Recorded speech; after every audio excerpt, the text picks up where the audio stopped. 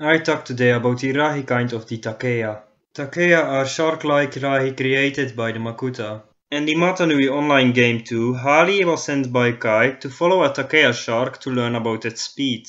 Mutated versions of the Takea shark were used by Pridak for his army. Pridak with his army of Takea sharks attacked Defilak, his submarine. Gar, Idris, Sarda and Defilak are then captured by Pridak.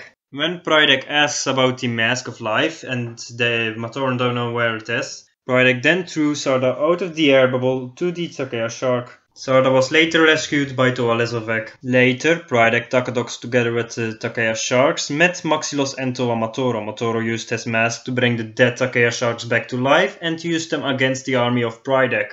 While Hewkii and Nuparu are escaping from Ehlek his venom eels, Hewkii used his mask to drop one of Pridak's Takea sharks on Ehlek, making Ehlek think that Pridak betrayed him. Ehlek then went furious and with his army of venom eels attacked Pridak, Takadox and the Takea sharks that allowed Maxilos and Matoro to escape. While the Barraki pretended to be defeated by Maxilos, the Takea sharks come together with the other Sea Rahi to destroy Maxilos. The Barraki along with the Takea sharks and the other sea armies followed the and fought against Toa Jaller, Hahli, Nuparu, Hewkii and Kongu, while Matoro swims away with the mask. To give Matoro time, Jaller wanted to use the Nova Blast, but was then teleported away. The Shark is part of the Bionicle Master Builder set number 10023. It used 48 pieces of the 102 and was released in 2002. Pridak's sword was made by Nocturn who used 1000 Takea shark teeth. If you want to know more about the Rahi species of the Takea shark, read Bionicle The Rahi Beasts. Sorry if my voice is not good enough,